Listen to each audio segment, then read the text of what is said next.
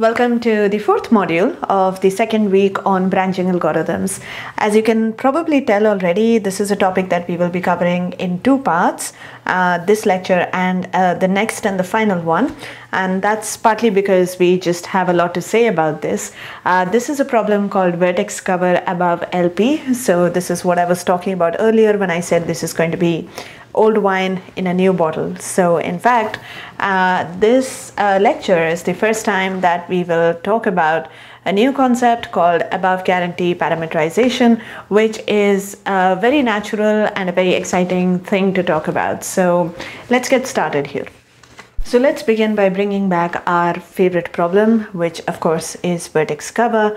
So you might remember that a vertex cover of a graph is a subset of vertices whose removal leaves us with no edges. In other words, it's a subset of vertices that intercepts uh, every single edge in the graph. Computationally, we are typically interested in finding the smallest vertex cover in a graph, or typically uh, in the parameterized setting, we are given a budget k and we are trying to find a vertex cover that has at most k vertices. Now, if you will recall from the introductory discussions that we had about what makes a good parameter, then you might remember that a good parameter is, of course, a parameter that gives you some workable algorithmic insight into the problem uh, and that allows for hopefully FPT type running times. But a good parameter is also one that you expect to be small in most situations. Now, if I ask you, what do you think about the standard parameter for vertex cover, which is the solution size? That's been what we have worked with all along so far. Now, without context, that's a question that's slightly hard to make sense of. What do you mean if it's a good parameter? Uh, it seems like a matter of opinion. It's hard to be objective about it. Of course, it's worked out great for us, so we shouldn't be complaining. Um, it's a parameter that's given us linear sized kernels, it's a parameter that's given us these really nice branching algorithms that we discussed just earlier this week. So, what's not to love, right? We shouldn't be complaining. But one question to ask ourselves is you know is this a really small parameter um, in most contexts? So as a concrete example let's think about graphs that have perfect matchings okay? So if a graph has a perfect matching, what can you say about the size of any smallest vertex cover in the graph? I'm not asking for the exact size because that's going to depend on the graph. Uh, the graph could range from being just a perfect matching to being a complete graph and you know, so there's going to be a lot of variety. But can you give me a um, guaranteed lower bound on the size of the vertex cover for such graphs? Remember that a perfect matching is simply a collection of disjoint edges such that every vertex in the graph participates in one of these edges. So it's a, it's a matching that covers every vertex in the graph right? So for graphs that do have these perfect matchings, uh, what can you say about the size of the smallest vertex cover? While you're thinking about this, let me just point out that you can assume for G to have an even number of vertices. And the reason for this is that if you want G to have a perfect matching in the way that we just described it, then G would have to have an even number of vertices. So when G has an odd number of vertices, people do still talk about these so-called near perfect matchings, which are matchings that cover uh, every vertex except for one. But that's the sort of detail that's not really relevant to this question, so don't worry about it and just assume that the number of vertices in G is even. In this case, you can see that uh, whenever G has a perfect matching, uh, its vertex covers are going to have size at least n by 2, where n is the number of vertices in G and n over 2 is the number of edges in any perfect matching. The logic that drives this inequality is probably exactly what you would expect, which is that in general, if a graph has, say, a matching on q edges, then any vertex cover in G must have at least q vertices. Because notice that these matchings correspond to a collection of disjoint edges, and we know that a vertex cover has to cover every edge. And since these edges are disjoint each one of them is going to demand their own slice of real estate in the vertex cover. So the vertex cover has to have q distinct vertices to even just accommodate for the matching edges. And it probably needs some more to accommodate for the remaining edges. There are of course classes of graphs that are really nice with respect to this relationship between the vertex cover and the matching size. So you might recall that if you were working with a bipartite graph, then uh, these uh, quantities are in fact the same. But in general, the vertex cover could be larger than the size of a maximum matching. And uh, whenever the size of a maximum matching is large we know that the vertex cover is also bound to be large. Now the word large in the context of a parameter doesn't really sound so nice. In fact for all of these graphs that have perfect matchings it looks like our vertex cover parameter which we know and love is beginning to look like it has a nasty dependence on n which means that all of these uh, FPT algorithms that we made just this week begin to look like regular exponential algorithms in n. Even the kernel sizes, if uh, you go back to the best kernel you had, which was a kernel of size 2k, it's just meaningless on this class of graphs. It doesn't give you any information at all. Now, of course, to all this, you might say, wait, wait, wait. Look, what are we complaining about? Every parameter is going to have a bad day once in a while. There are going to be instances for which the parameter is going to be large relative to n. We do know this, we expect this. So what's the big deal? We have just uh, uh, you know, made explicit a class of graphs on which this does happen. Is this something to be unhappy about? And to that, I would say you're actually right. Maybe we should not be so upset. But at the same time, there is here a sort of motivation to pause and ponder about, you know, can we come up with a better parameter? Something that is smaller than the standard parameter and hopefully gives us faster running times even on these classes of graphs where the original parameter just happens to be large. Well, one way to think about it is uh, the following. So this lower bound tells us something. The lower bound tells us that look, the vertex cover size is already going to be at least something. Uh, it's at least, for example, in this case, we talked about the size of a maximum matching. So it's already going to be at least that much. So the non-trivial work really is to figure out how much more do you need on top of this lower bound and that's kind of the question that we are going to tackle here so in fact we are going to work with a different lower bound for vertex cover which is again something that you know you have seen uh, in the context of kernelization. So we have the optimal vertex cover, which I'm going to denote by VC, and you also have the optimal value of the linear program that we wrote for vertex cover, which is VC star. Now, between the two, can you pin down an inequality? Which one of these is always guaranteed to be at least as large as the other? Let me clean this up a bit. All right, so here are the two competing entities, and um, I'd like to know which one is the smaller one. So does this go this way? Does this go this way? Actually, that's upside down. All right, if you remember from last time, uh, the value of the LP opt, of course, is going to be at most the value of the real opt, the, the actual value of the vertex cover. And um, the reason for that is that you're optimizing over a more liberal space, you're allowing for more values uh, than what you would be allowed if you were working in the discrete setting. So we know that any vertex cover is bound to be at least uh, VC star of G, for sure. The question that we are interested in posing is how much more? And that how much more is what we want to manifest as our parameter. So we're still looking at the same problem as before.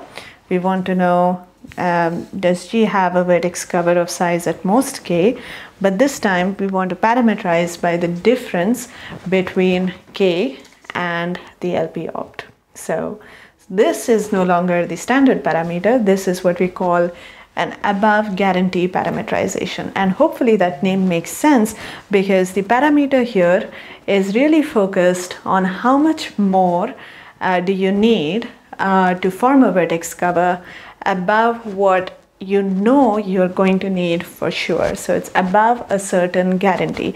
Now you could pick your favorite guarantee. You could have multiple lower bounds on the size of a minimum vertex cover. We have already seen that the size of a maximum matching is also a lower bound and so is the size of uh, or the value of the LP opt. It turns out that between these two and you can try to check this for yourself between these two the value of the LP opt is a stronger lower bound in that it's always at least the size of a maximum matching. So if you parameterize above a higher lower bound, your parameter is going to be smaller. So that's the one that we're going to be working with. And uh, we want to see if this problem is FPT. It's not obvious uh, that vertex cover is FPT when you look at it through this very new lens. So that's going to be the subject of this lecture and this is the this is the main result that we want to prove. We want to say that there is in fact an algorithm for vertex cover above LP that runs in 4 to the k minus LP opt with a polynomial overhead as usual.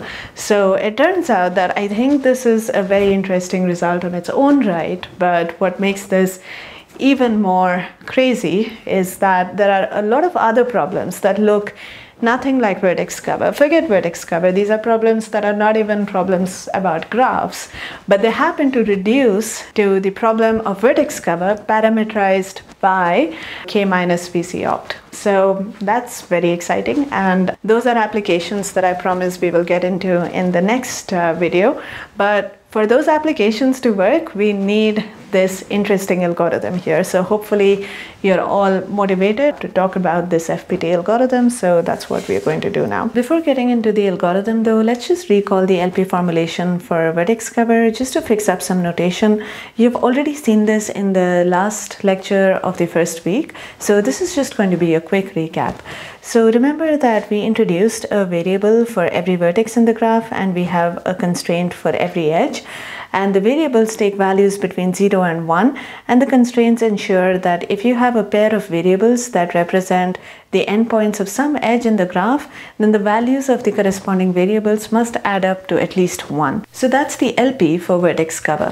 Now suppose somebody gives us a solution, we can think of this as a vector x with n coordinates and for convenience in fact you can think of this vector as being indexed by the vertex set of the graph. So you could be talking about the value x sub v to denote the value of the variable that's representing the vertex v from the graph G. Also, we will use w of x to denote the sum of all of these values and we'll refer to this as the cost of the solution x or the weight of the solution x and we will tend to use these two terms interchangeably. Let me also point out that the all half solution is always going to be feasible for the LP. So if you set every variable to half, all the constraints are satisfied. Of course, this may not be an optimal solution. In fact, it may be quite a bit bigger than the optimal solution, but it certainly serves as a valid upper bound for the value of LP opt. In other words, LP opt never needs to be more than n by 2. Finally, let's also recall that we claimed that there's always a half integral solution to the vertex cover LP. In other words, we have that there's always an optimal solution where the value of every variable is either 0, half or 1. Such a solution is called a half integral solution and it can be found in m root n time where m is the number of edges in the graph and n is the number of vertices. So let's just keep all this at the back of our minds and now we are ready to start thinking about the algorithm. We are still solving vertex cover but with respect to this brave new parameter which is trying to be much smaller than the previously understood standard parameter. Having said that, a good place to start, generally speaking, is familiar territory. So we've recently seen a branching algorithm for vertex cover, so let's just quickly recall what we did back then. The strategy was essentially to branch on high degree vertices, where by high degree I just mean vertices whose degree is at least 3. Now what we did was the following. You pick a vertex of maximum degree. If there are multiple vertices that have the highest degree, just pick any one of them and then you branch on that vertex, which is to say that you explore the following two exhaustive scenarios. In the first, you say you're going to pick this vertex in the solution. So you generate the graph g minus v and there you look for a vertex cover of size k minus 1. In this branch, the measure, which back then was just the size of the solution, drops by 1. Now, in the other branch, we said that we will not pick this vertex in our solution, but that had the immediate implication that we had to pick all of its neighbors in the solution. So in this case, the measure, again, the size of the vertex cover dropped by at least 3 and in particular it dropped by the degree of the vertex that we were branching on. So we then went on to analyze this algorithm, look at some base cases and so on and so forth and those details are not going to be as relevant immediately. But what we want to do is really think about whether we can actually leverage the algorithm that we already know. So let's analyze this algorithm with respect to our brand new parameter. And in particular, to keep life simple, let's just focus on the left branch where we're just getting rid of one vertex. So what do we want to do here? What does it mean to analyze this algorithm with respect to this parameter? Well, we want to see how this parameter evolves as we make this change in this graph. So let's actually take a look at this a little bit visually. So here we have k and uh, the value of LP opt and notice that the gap between them, this highlighted region right here, that is in fact our parameter. So if you want the running time of our branching algorithm to be bounded as a function of this parameter, then we need to show that as the instances evolve in the branching algorithm, this parameter, this gap actually shrinks. So we already know that k is going to reduce by 1. So to understand what happens to this gap, how does it shift, we need to understand how the value of LP opt evolves as we modify the graph. So let's take a look at a couple of possible scenarios. First, let's say that k reduces by 1 as we said that it would, but now let's say LP opt happens to remain the same. For whatever reason, after deleting a vertex, uh, LP opt does not change. In this case, notice that what happened was that k in fact came closer to this fixed value of LP opt. So the gap in fact shrunk, which of course is very good for us. We do want uh, this parameter to reduce and that's happening. So this is a good case for us. Now, just for contrast, let's take a look at a slightly different scenario. So here, as before, k drops by 1. That's just how the branching algorithm works.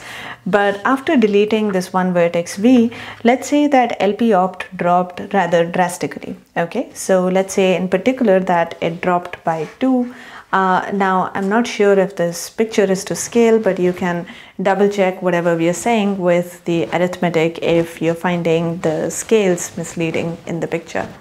So in any case, uh, if this happens, uh, is this good for branching? So let's think about this for a second. By the way, uh, you might already be alarmed by the prospect of LP opt decreasing by 2. You might be thinking, can this even happen? And we will address that in a moment. But this is just a hypothetical. Suppose it happened, then would this be good for us or would this be bad for us? Well, hopefully you can see that whenever this happens, the gap actually increases. So this is not good at all. You have uh, gone further down in your branching, but your measure has gone up somehow.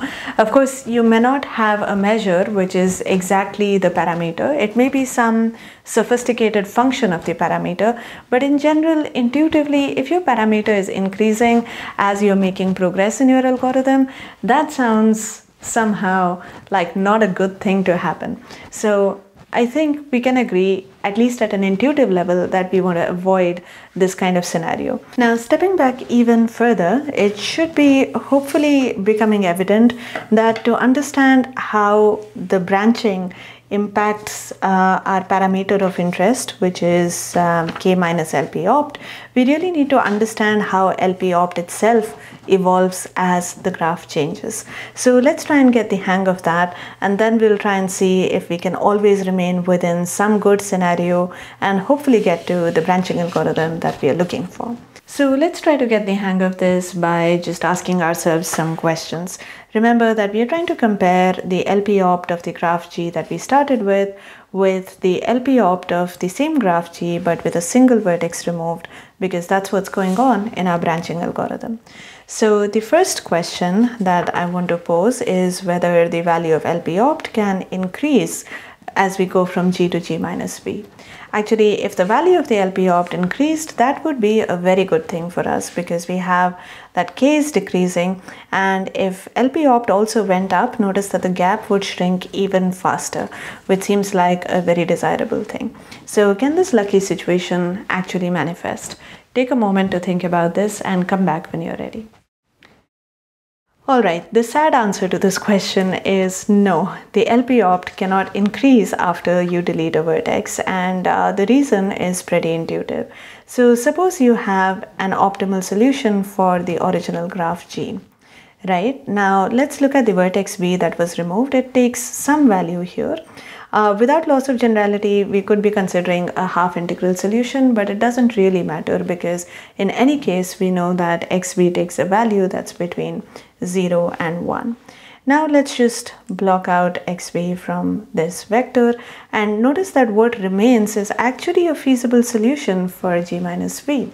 You can check this for yourself, it's fairly easy to verify. But now if this is a feasible solution, then we know that the value of Vc star of g minus v is bounded above by the cost of this solution because if nothing else, we can always fall back on this. So the value of LP opt for g minus v will definitely not be more than this. And now how large can this solution be?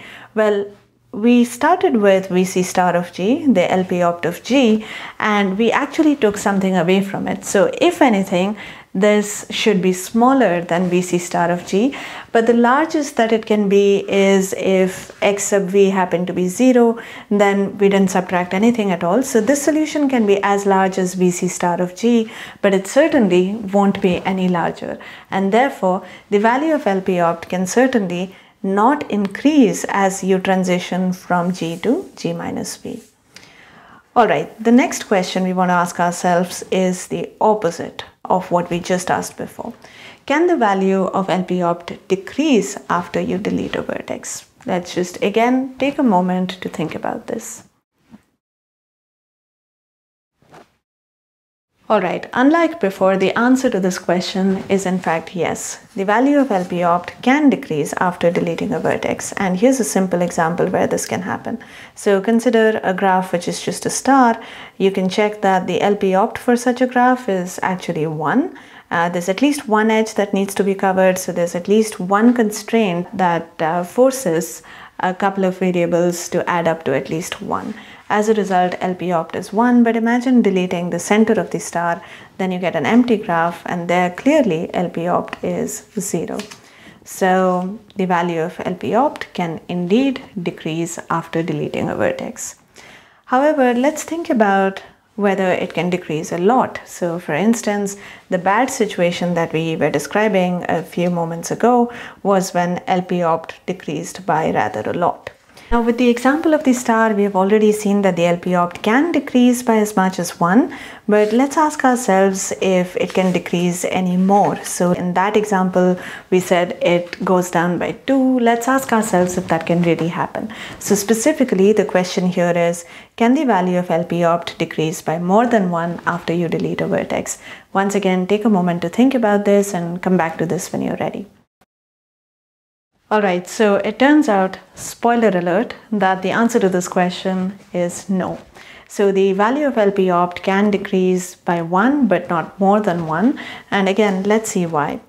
So let's take a look at the LP opt for G minus V. So this is a bunch of values for all the vertices in G except for V. And now let's append to this solution a value for the vertex v and let's say that value is 1. Again, you can check that this solution is in fact a feasible solution for the LP opt of uh, G. Uh, the reason is essentially that you only have to worry about constraints that the vertex v is involved in, but by setting v to 1, you automatically take care of those constraints. And notice that the cost of this solution is essentially 1 plus whatever we had before, which was essentially vc star of g minus v or the value of the LP opt for g minus v. So now suppose that uh, the LP opt did drop by more than 1, then that means that we in fact have a solution whose value is less than Vc star of g but is in fact a valid solution for the LP with respect to G. So if the LP opt drops by more than one, we can use a solution that witnesses this uh, magical drop and uh, we can extend it to a solution that in fact beats the LP opt in the original graph, which just to be absolutely clear is a contradiction in plain sight. So the LP opt cannot drop by more than one. So let's summarize everything that we have learned so far. So the LP opt certainly cannot increase and it can drop but not by more than one. Okay, so the way LP opt evolves as you go from uh, G to G minus V is that it may reduce by anything between 0 and 1 inclusive and if you appeal to the half integrality of the solutions then in fact you know that there's going to be a decrease of either nothing at all or half or 1. So let's just keep this in mind and ask ourselves what is it that we need to worry about? Knowing what we know now, what is the bad situation for our branching algorithm? So we know that LP opt can decrease by at most 1. If it decreases by anything that is less than 1, then we still manage to actually shrink the gap. So if it doesn't decrease at all, then there is a nice reduction in the gap. But if it decreases by anything that is less than 1, then you still maintain something of a reduction in the gap. So What's the dangerous situation? Hopefully, you have also come to this conclusion that the dangerous situation is when LP opt drops by exactly 1. When LP opt drops by exactly 1, what happens is that both K and LP opt move back the same amount and therefore the gap remains exactly as it was before and our branching algorithm is seemingly not making any progress. So this is the scenario that we have to worry about and somehow deal with. At this point, I would say that we really need some new idea to make progress. I guess it's fair to say that we have more or less exhausted the scope of what we can get out of looking at the algorithm that we already know, analyzing it from the point of view of this new parameter, and perhaps secretly hoping that it would just work.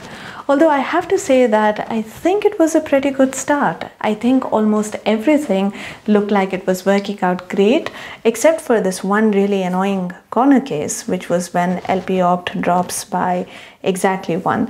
And of course, this is annoying for the first branch where we delete the vertex v, but you can imagine that there's an analogous problem in the other branch where you delete the neighborhood of v and k drops by the degree of v. There you would be annoyed if LP opt also dropped exactly by the degree of V. So these are really the two edge cases that we have to worry about. I think if we could somehow tackle these, then we are very much back in business. So let's think about what happens when LP opt manages to drop by exactly one, which notice by the way is the maximum drop that LP opt can experience, right? So it seems like maybe this is some sort of an extremal situation and maybe instances where this actually happens, they are kind of special and perhaps we can tackle them with some sort of a pre-processing rule and uh, just get rid of the case entirely. So let's actually explore this thought right? So what can we say about graphs where when you delete a vertex, uh, the LP opt drops exactly by 1. To make things concrete, let's say that we are deleting a specific vertex v and in g minus v, let's say this is some optimal solution for LPVC of g minus v. Now, from our previous discussion, we know that we can extend this to a solution for LPVC of g by bringing back the vertex v and setting the variable xv to 1. We already know that this is a feasible solution, but in fact, in this situation, this is also an optimal solution. And the reason for that is that the cost for this part of the solution is LPVC of g minus 1, because remember, we are in the case when LP op dropped by 1. So when we add 1 back to that, the total cost of the solution goes back to just being LP opt right? So this tells us something about the graph G. Specifically, what it tells us is that in the space of optimal solutions for LPVC of G, there is at least one which has at least one variable set to 1. Now that was a lot of ones in that sentence, but hopefully the statement is clear.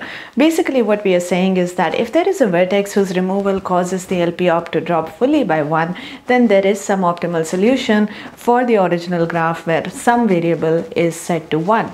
So this is the situation that's problematic for us. So what if we could create a situation where the original uh, graph's LP had no optimal solution where some variable was set to 1. So what's the intuition here? If you go back to the LP-based kernel for vertex cover, you'll remember that we somehow had a forcing strategy for variables that took the value 1.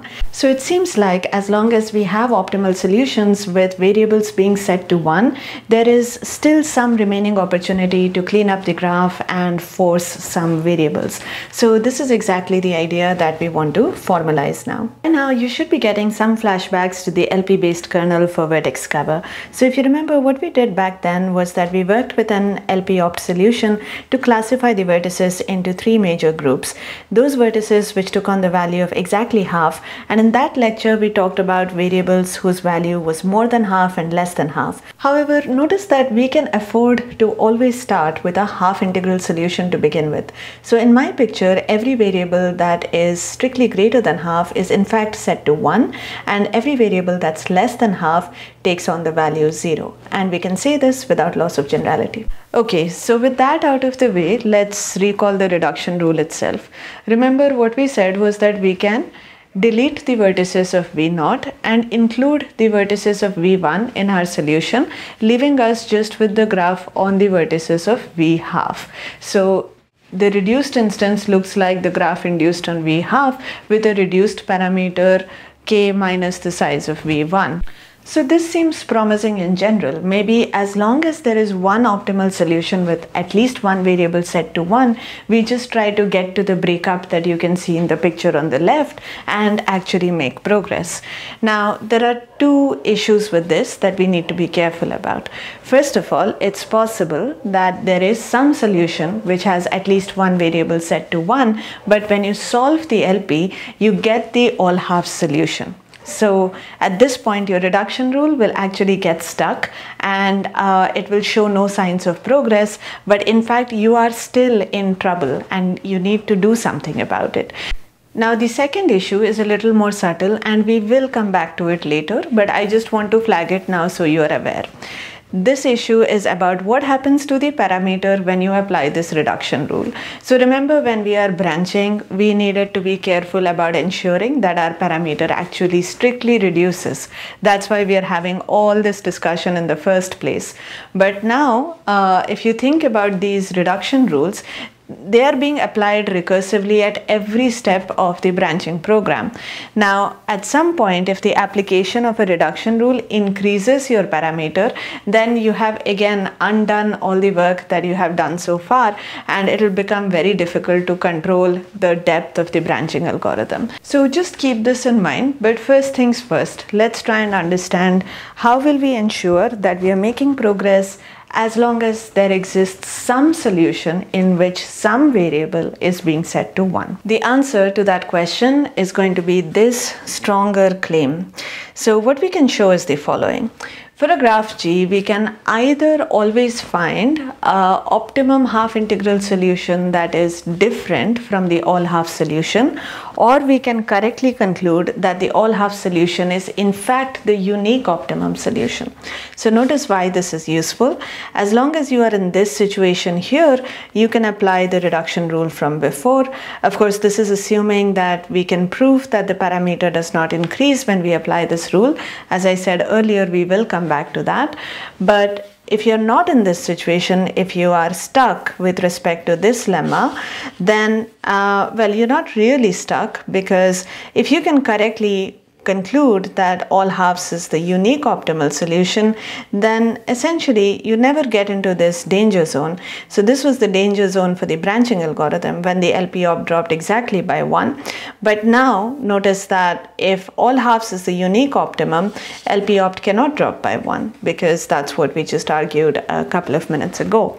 So this is something that's useful to prove. So let's go ahead and try to prove this. The high level idea is going to be the following. We will try to uh, come up with some LP opt and if that LP opt is already of the sort that we want, which is that it's different from all half, then we are pretty much done already. But if it is the all half solution, then we need to probe it more. So the way we probe it more is by essentially trying to set uh, variables to one, forcing variables to one and seeing if things work out. If after forcing a particular variable to one, we can get an, a solution for the rest, which actually adds up altogether to LP opt, then we are again in business. But if this does not work out for any variable, then we can actually conclude that all halves is the only optimal solution. So let's take a closer look at this strategy. You might want to make a note of the statement that we want to prove because that's uh, something that I'm going to push out of the screen just to make some room. So the first step is to actually solve LPVC of G and get some optimal solution. And uh, if this optimal solution is already different from the all half solution, then we are immediately done. But if it's not, then we are still left with the question of whether there is a solution that is different from the all half solution. So let's think about this a little bit. Uh, suppose we try setting every variable to one in turn. So in particular, what we are going to do separately for each vertex in G, we are going to eliminate the vertex V from G and solve for the rest. And let's come back and consider the solution X, which is an extension of the LP opt for the smaller graph by setting um, to 1 okay so that's what we are going to do. And uh, as we have discussed a few times by now we already know that this is an feasible solution for the original graph for sure. But the question is is it optimal right? Uh, so the cost of this solution is 1 plus the cost of the optimal solution for the smaller graph. So you know if this is optimal then what can you say well, this is optimal means that we are again done because we have an optimal solution that's different from the all half solution. And that's again because at least if nothing else, XV is being set to one. So again, we are good if this solution for G minus V uh, extended with XV set to one happens to be optimal uh, for any V, right? So then that's a good situation. So let me just uh, summarize that in words. Uh, forcing a variable to 1 and uh, you know extending the solution for G minus V, that turns out to be optimal. It's anyway feasible, then we are good. So suppose this didn't work out for every variable. For every variable, we forced it to one and what happened was that when you combined it with the LP opt for the smaller graph, you got back something that was bigger than VC star of G. So we are in this situation apparently stuck. So this is this is what's happening. Uh, for every vertex V, uh, VC star of G minus V plus 1 is greater than VC star of G okay. So in this case we are also done because it turns out that in this situation all halves is actually the unique optimal solution for LPVC of G And that's probably not completely obvious, although it may be intuitive. But let's just take a look at the formal argument. So recall again that this is the premise. For every vertex v, we know that the LP opt of g minus v was too big. It was certainly bigger than the LP opt of g minus 1. Now notice that because these are LPs which have half integral optimums, if you double these LP opts, you get two integers and because of that this inequality can be tightened a little bit further okay? So vc star of g minus v being strictly greater than vc star of g minus 1 actually means that it also has to be at least vc star of g minus half not just vc star of g minus 1 you can imagine that this quantity here is half of an integer. So you know you can only fall back so far right? You have to be strictly ahead of this so you have to be still at least um, you know this quantity plus half which is vc star of g minus half so now let's prove what we want to prove by contradiction. So we want to show that there is, um, you know, no optimal solution different from the all halves solution. All halves is the unique opt. That's what we want to say. So suppose not. So suppose there is something that is different from all halves, then such a solution must have at least one variable whose value is strictly greater than half. And that's just a counting argument. Clearly, uh, if you're different from all halves and knowing that all halves is optimal, it cannot be that it's different just by some variables being set to zero right? Because then you have a solution that's smaller than the all halves solution which is optimal so that's not possible.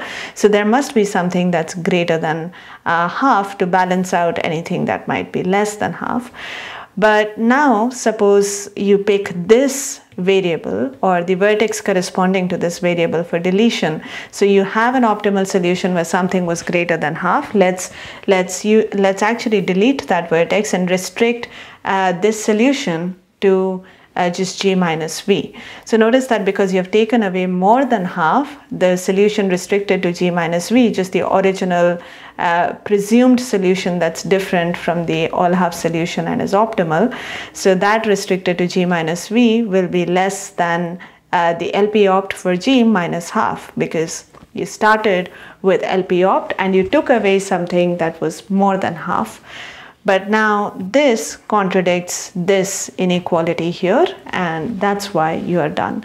So what we have shown with this argument is the fact that um, you know we can always assume that we have landed at a situation where all halves is the unique optimal solution.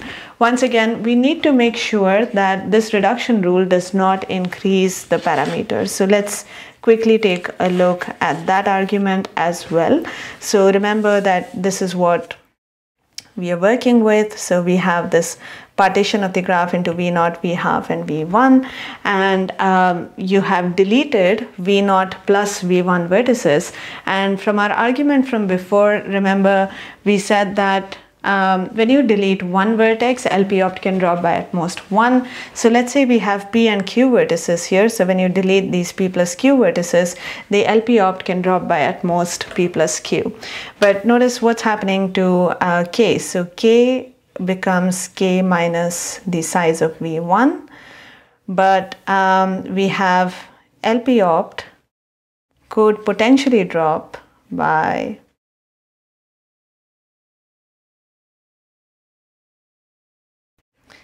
as much as v1 plus v0 because that's how many vertices we are deleting out here. So that's based on our simple argument from before that when you delete one vertex, you know, you never you never drop by more than one. But now this is not really good enough for us to know because, you know, we have k minus vc star of g and now we have k minus v1 minus vc star of let's say g prime which is essentially the original graph g projected on the vertices that take on the value half right?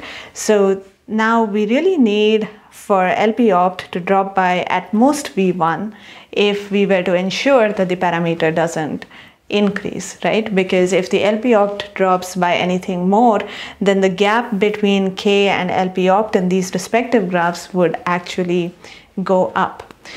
So now what's the argument for the fact that LP opt does not drop by too much? So let's make this claim that um, LP opt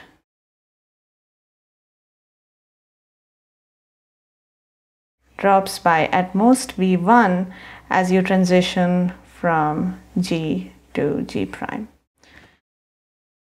Well, suppose LP opt dropped by more than V1, right? So uh, hopefully with all the arguments that we have made so far, you can see where this is going to go. So feel free to pause this video at this point uh, to think about the solution, but I'm going to actually try and eliminate literally V0 and V1 and talk about what happens. So we are left with the graph V half here. And let's say this has a really small LP opt, so it, it drops by even more than V1.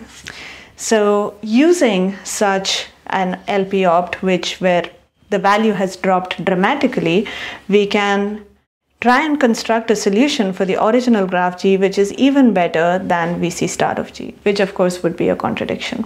So let's use the, uh, the optimal solution. So suppose for the sake of contradiction that there is uh, X dash, okay, whose value is strictly less than K minus V1 all right so that's an x uh, x prime which is a valid solution for v half. It satisfies all the constraints here. Now let's bring back what we deleted which is v1 and v naught and let's set these variables to 0 and these variables to 1 so when you obtain a solution x like that its weight is going to be strictly less than k minus v1 plus v1 because we have only set size of v1 many variables to 1. And is this a feasible solution? Well, yes, because notice that again, the setting of variables in x prime satisfy all the constraints that involve vertices which are both in V half and the setting of vertices in V1 to 1 ensures that you, you meet all the constraints which involve vertices of V1 and notice that vertices of V0 to begin with were never involved in any constraints involving other vertices from V, V0 or V half. So as a result, this is a feasible extension, but it, it is an extension whose cost is even better than the original LP opt, but that means that um, Um, we have actually a contradiction. So the value of LP opt cannot drop by more than the size of V1 as you make this transition from G to G prime. So this is a perfectly valid reduction rule to apply for as long as you can. And uh, the number of times that you apply this reduction rule is at most the number of vertices that are there in the graph because we need to just keep trying uh, to force each one of these uh, variables corresponding to each vertex to 1 to make sure that we have eliminated the possibility that there is even a single optimal solution which sets a variable to 1. So once we have done all of this, we can be confident that LP opt doesn't drop by as much as 1 and therefore our branching is going to in fact shrink the parameter. So we have argued all this for the case when the branching gets into the instance g minus v. In the other case, the branching gets into g minus the closed neighborhood of v and the argument there is very similar. So I encourage you to think about it and work out why the measure strictly shrinks essentially in the right branch as well. Now, before summarizing everything that we have learned so far, I just want to quickly talk about the most important part of any recursive algorithm, which is the base case, the thing that ensures that our algorithm actually terminates. Now, usually a good place to stop for any branching algorithm is when the measure that you have defined for it hits zero because that's what will allow you to bound the depth of the branching as a function of the measure.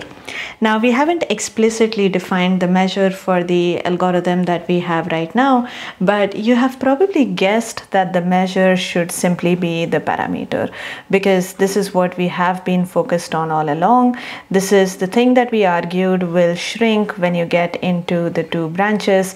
This is the thing that we said will not increase whenever we apply the reduction rules. So it's a very, very natural choice for the measure.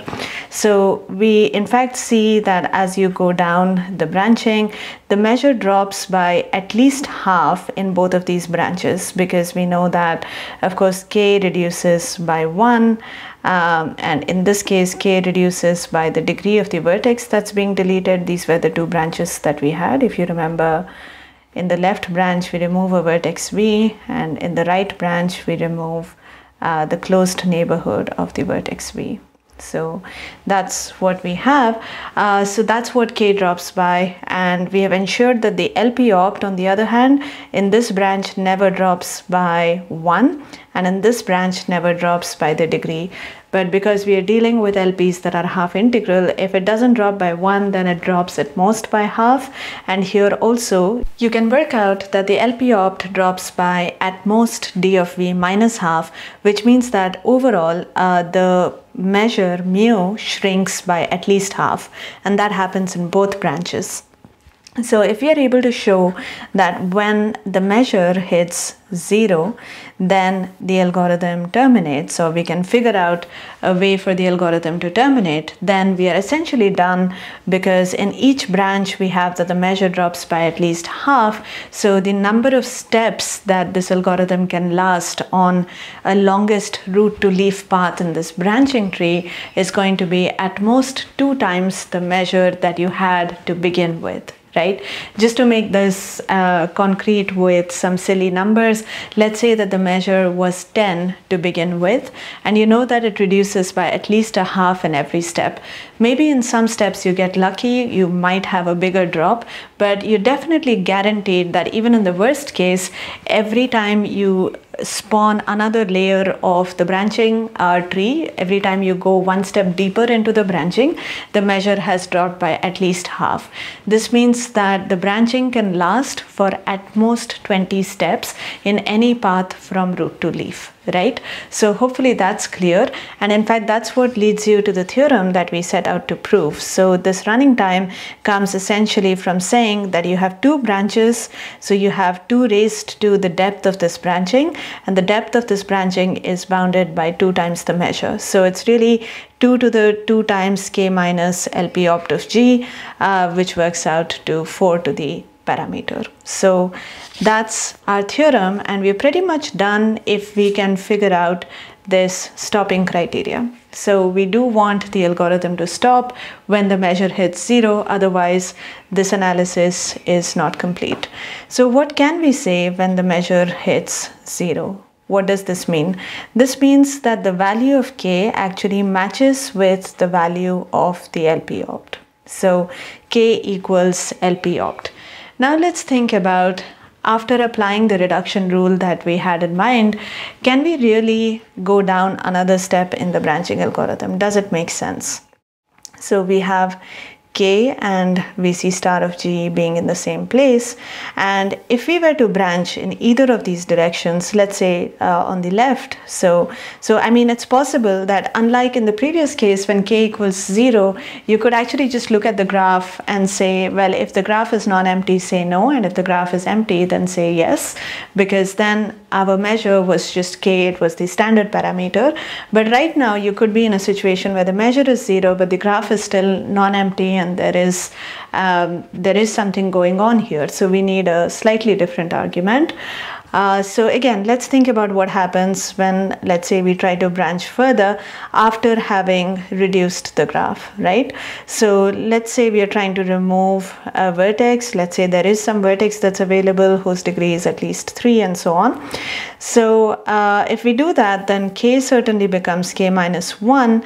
But LP opt, because of our reduction rule, we are assured that LP opt is not going to drop all the way by 1 so so this can only drop by a little bit less than 1 but notice that something very funny has happened right now. So if you look at this picture you should uh, see a red flag already. So this means that in the graph g minus v we are hoping to get a vertex cover of size k minus 1 but we have a lp opt which is larger than k minus 1 But we do know that any vertex cover must be at least uh, the size of any optimal vertex cover must be at least the, the LP opt and this should be G prime, sorry about that. So G prime being G minus V. So since we know that the optimal vertex cover size must be larger than LP opt, uh, we know that we have run out of budget at this point. We don't have enough budget to actually create an optimal vertex cover. So after the reduction rules have done their job, if the graph is not already fully resolved, then you can actually say no. It's going to be the same argument in the other branch. So there's really no point in getting into either of these branches because you know for sure that you're headed into no instances. So you can pretty much roll up your sleeves and say no uh, if you are stuck with a graph that's not fully resolved even after the application of your reduction rules. If this was a yes instance, then it would be completely tackled by the reduction rules that you have in place.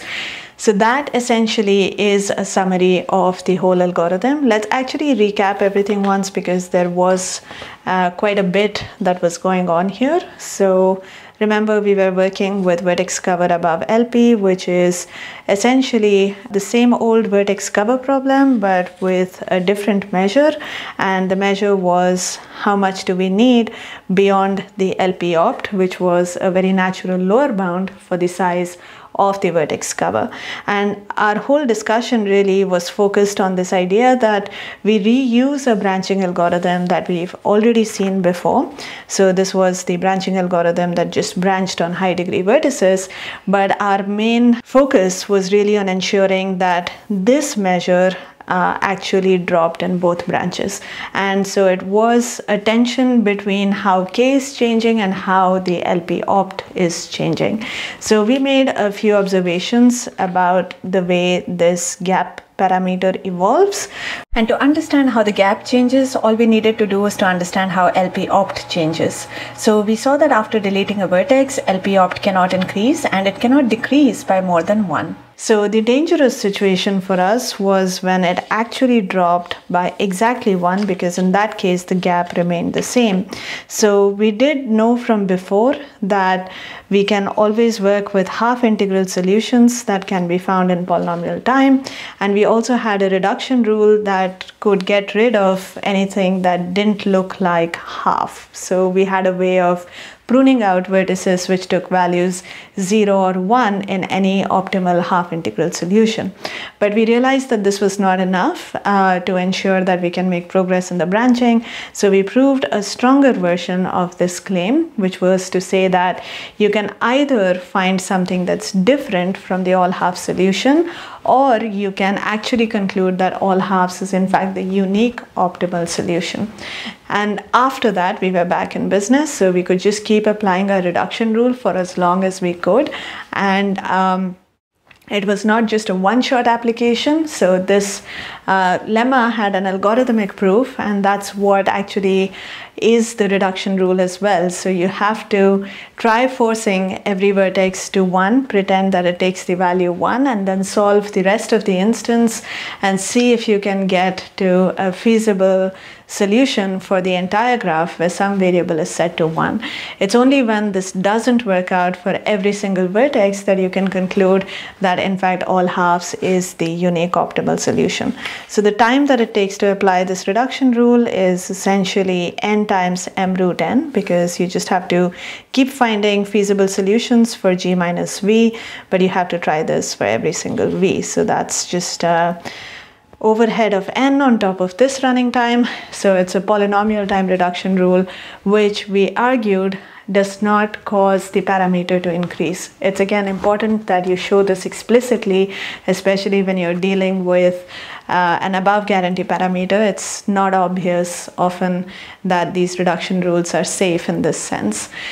So you do that and once you are assured that the LP opt is not going to drop dangerously, you can now get into the branching. The branching is the same as before. And uh, then we finally had fact that your measure decreases by at least half in each branch. So the depth of your branching is going to be at most two times the measure. We also argued that you can stop once the measure hits zero and that gave us finally the result that we were looking for that vertex cover above LP opt is FPT and it has an algorithm whose running time is 4 to the k minus LP opt. So next time we will see how we can make use of this algorithm to solve some other problems which are interesting on their own right, uh, but we will not solve them directly. We will simply reduce or transform those problems into instances of vertex cover parameterized above LP opt. That's going to be a lot of fun, and you'll hopefully be convinced that all of this hard work was worth it, not just uh, for solving vertex cover above LP opt on its own right, but also for all of these cool applications that we more or less get for free. So I hope you enjoyed uh, being introduced to this important concept of an above guarantee parameterization and seeing how it leads to even faster and even better algorithms for our favorite problem, vertex cover. So this is a good place to wind down. So I'd like to thank you for watching and I'll see you in the next video.